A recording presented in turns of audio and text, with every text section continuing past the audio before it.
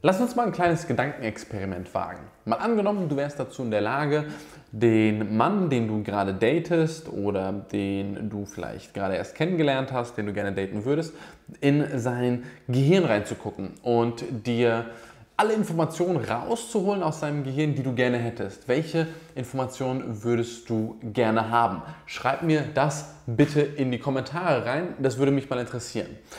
Während du das gleich in die Kommentare reinschreibst, ähm, habe ich eine Vermutung und zwar, dass viele von euch, hoffe ich, weiß ich nicht, ähm, gerne wissen würden, was finden Männer denn wirklich anziehend im Sinne von sexuell anziehend, aber eben nicht nur sexuell anziehend, sondern auch persönlich anziehend, spirituell anziehend, so etwas holistischer anziehend. Denn natürlich willst du nicht nur, dass der Mann rein sexuell von dir hingezogen ist, du willst ja auch, dass er dich eine bezaubernde Persönlichkeit findet, dass er mit deinen Werten korreliert, also mit deinen Werten zusammenpasst, dass ihr ähm, eine ähnliche Lebensvision habt vielleicht, also dass ihr euch auf mehreren Ebenen antörnend, motivierend, inspirierend findet. Und deswegen möchte ich in diesem Video acht verschiedene Wege oder acht verschiedene Denkanstöße dir mitgeben, wie du Männer antörnen kannst. Und der erste, den ich dir mit auf, die, auf den Weg geben möchte, mit an die Hand geben möchte, ist es, Männer etwas zappeln zu lassen und ähm, sie wirklich den Erfolg der Eroberung genießen zu lassen. Also wir Männer, und das hat jetzt viele verschiedene Gründe, da möchte ich gar nicht so tief drauf einsteigen, mögen es, Frauen zu erobern, sie kennenzulernen, sie von uns zu begeistern und sie dann quasi aufgrund unserer Eroberung dahinschmelzen zu lassen. Und wenn diese Eroberung zu einfach ist, dann ist es für viele Männer sehr schwierig, ähm, davon angezogen zu sein, weil die meisten Männer nicht so ein hohes oder viele Männer haben nicht so ein hohes Selbstwertgefühl und gehen nicht davon aus, dass sie selbst etwas wirklich Besonderes in dieser Welt sind. Sie halten sich für mehr oder weniger durchschnittlich, auch wenn sie das nicht immer so nach außen hin sagen. Und deswegen gehen sie dann automatisch davon aus, dass wenn du dich ihnen sehr leicht hingegeben hast, dass es andere Männer auch sehr leicht haben könnten, Schrägstrich sehr leicht haben werden. Das macht ihnen Angst und das ist auch der Grund, weswegen viele Männer, wenn du dich ihnen zu leicht hingibst, zu früh mit ihnen äh, Sex hast zum Beispiel, warum sie sich dann eher ein bisschen distanzieren und dann nicht mehr ähm, ja, so eine starke Beziehung mit dir aufbauen wollen. Das ist so ein bisschen das Motto, naja, ich würde niemals Teil, Mitglied eines, Club, eines Clubs werden, der jemanden wie mich als äh, Mitglied aufnehmen würde. Und das ist so ein bisschen die Dynamik dahinter. Das heißt, wenn du ihn ein bisschen zappeln lässt, das kann vielleicht beim ersten Kuss sein, bis ihr das äh, erste Date habt, bis ähm, ihr das erste Mal Sex habt, dann ähm, kann das sehr positiv sein. Das solltest du aber jetzt nicht machen, bewusst nicht einfach an sein Telefon gehen, sondern betrachte das Flirten mehr als ein Tanz, als ein Spiel. Wenn du mit jemandem tanzt oder dir äh, lateinamerikanische Tänze anschaust, dann ist es auch nicht sofort super intensiv. Man kommt sich ein bisschen näher, dann distanziert man sich wieder ein bisschen, man kommt sich näher. Es ist so dieses Tanzen, diese Energie, dieses ja, vor, zurück, dieses Spielerische. Versuch deinen Flirts ein bisschen diese spielerische Note beizugeben und du wirst merken, dass es einen riesen, riesengroßen Unterschied hat. Punkt 2, nimm seine Bedürfnisse so ernst, als wären es deine Bedürfnisse. Ganz oft in Beziehungen haben wir das ähm, Gefühl, dass der andere ein Problem hat, wenn wir uns kennenlernen. Der andere ist zum Beispiel etwas eifersüchtig und wir sind nicht so eifersüchtig, deswegen sagen wir, ja, du hast das Problem, du musst dich verändern.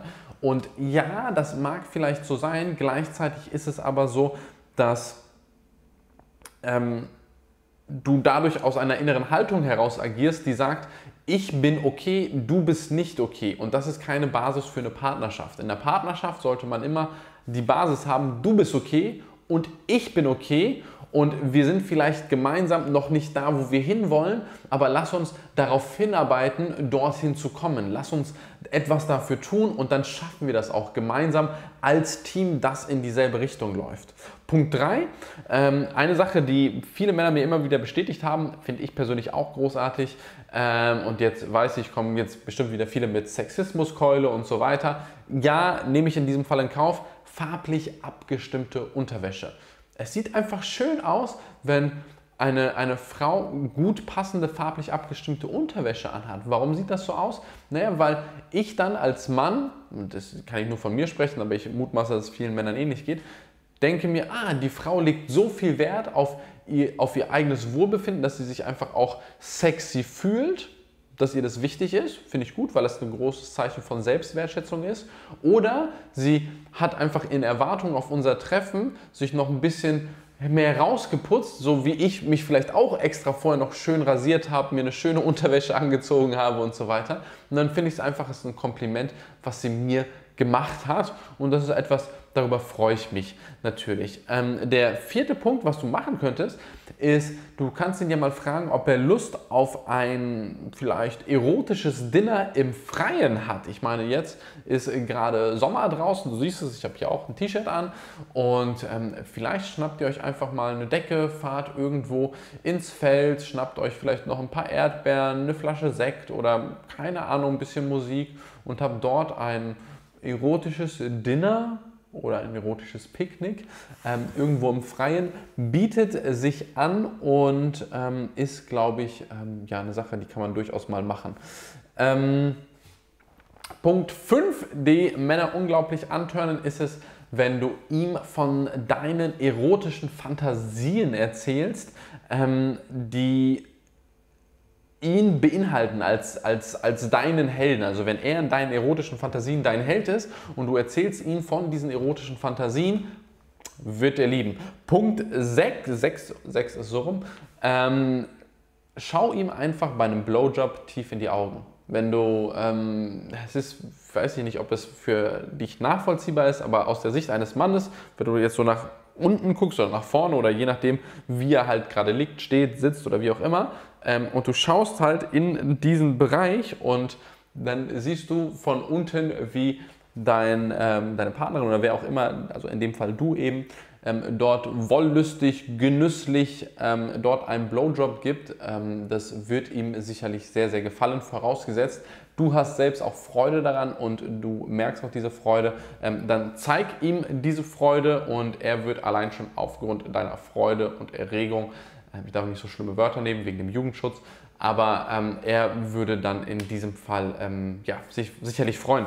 Punkt 7, den man äh, beachten sollte oder den du beachten kannst, ist es, du darfst hin und wieder mal zwischen aktiv und passiv beim Sex tauschen. Das heißt, mal bist du vielleicht, weiß ich nicht, in der Missionarstellung liegst du vielleicht ähm, auf dem Rücken und er ist über dir, dann ist es für dich ein kleines bisschen schwieriger, den, den Rhythmus anzugeben, sage ich mal. Aber es gibt durchaus andere Positionen, wo du vielleicht auf ihm drauf bist oder wie auch immer, wo es leichter für dich ist, den Rhythmus anzugeben. Und das ist super schön für die meisten Männer, wenn dort auch eine gewisse ja, Dynamik passiert, wenn du mal aktiver bist, mal etwas passiver bist, wann, wenn du mal etwas vielleicht ähm, äh, dominanter bist, mal etwas weniger dominant, wenn du mal etwas mehr den Ton angibst, mal etwas weniger den Ton angibst. So hat man ein bisschen ja, Variabilität oder ein bisschen Abwechslung in der ganzen Erfahrung und kann einfach eine, eine schönere, umfangreichere ähm, Sexualität leben, eine schönere, umfangreichere ähm, sexuelle Erfahrung auch machen und ihr könnt euch nochmal auf eine andere Art und Weise kennenlernen, vorausgesetzt, ihr nehmt euch auch die Zeit dafür.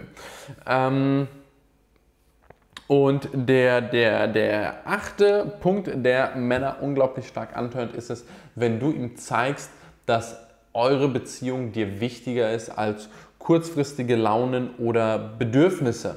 Ähm, manchmal kennt man das ja, wenn man so frisch zusammenkommt, dann prallen da zwei Welten aufeinander und diese zwei Welten ähm, haben unterschiedliche Überzeugungen, wie Freundschaft aussieht, wie eine Partnerschaft aussieht, wie ähm, ein Leben aussieht, was eine Karriere bedeutet und so weiter und so weiter. Und manchmal passen diese Überzeugungen nicht so stark aufeinander, noch nicht vielleicht. Und wenn wir dann aber dem anderen zeigen, hey, schau mal, du bist mir so wichtig, dass ich gerne mit dir gemeinsam über diesen Punkt hinaus wachsen möchte, dann ist es ein sehr, sehr starkes Zeichen von Wertschätzung, ein starkes Zeichen von Respekt und ein starkes Zeichen von gegenseitigem Vertrauen, was, du, äh, was ihr euch da entgegenbringt. Und das ist die Basis, die ihr nutzen könnt als Fundament, um darauf, hier, äh, um daraufhin oder von dort aus ähm, das Problem anzugehen, nach Lösungen zu suchen, weil ihr erstmal eine gute Beziehungsebene habt. Das ist wie ein Team in einer Firma. Wenn die sich untereinander nicht verstehen, ist egal, welches Projekt die abschließen wollen, die werden es nicht so gut hinkriegen. Wenn sie es aber erstmal hinkriegen, als Team gut zu funktionieren, werden sie für die komplizierten Lösungen, für die komplizierten Herausforderungen viel schneller, viel einfacher Lösungen finden können. Bam! Das waren acht Tipps und ich glaube, ich habe gar nicht so lange gebraucht. Ich habe nämlich äh, mir Mühe gegeben, sie etwas komprimierter zusammenzufassen, weil manchmal mir gesagt wurde, dass ich dazu neige, etwas weit auszuholen. Das kann ich nicht nachvollziehen, aber ich kann es trotzdem berücksichtigen. Ähm, aber damit ich trotzdem weiterhin ein bisschen weiter ausholen kann, habe ich was Geiles für dich vorbereitet übrigens. Das habe ich dir noch gar nicht erzählt, hätte ich dir eigentlich schon längst erzählen können und sollen. Ähm, ich habe ein geiles, geiles, geiles Online-Coaching für dich vorbereitet, ein kostenloses Online-Coaching, in dem ich der Frage auf den Grund gehe, warum manche Menschen die Liebe ihres Lebens finden, während andere Menschen einsam sterben müssen. Und ähm, auf diese Frage gibt es es viele spannende Antworten, die ich gefunden habe auf diese Frage. Gibt es viele spannende ähm, Ideen, die ich gefunden habe, viele geile Inspirationen. Und die habe ich für dich aufgearbeitet, die würde ich dir gerne geben. Kannst du dir holen. Ähm, Termine für diese kostenlosen Online-Coachings findest du in der Videobeschreibung beziehungsweise auf dariuskamadeva.de vier Fragen. Genau, das ist der Link. Der müsste auch jetzt hier, hier.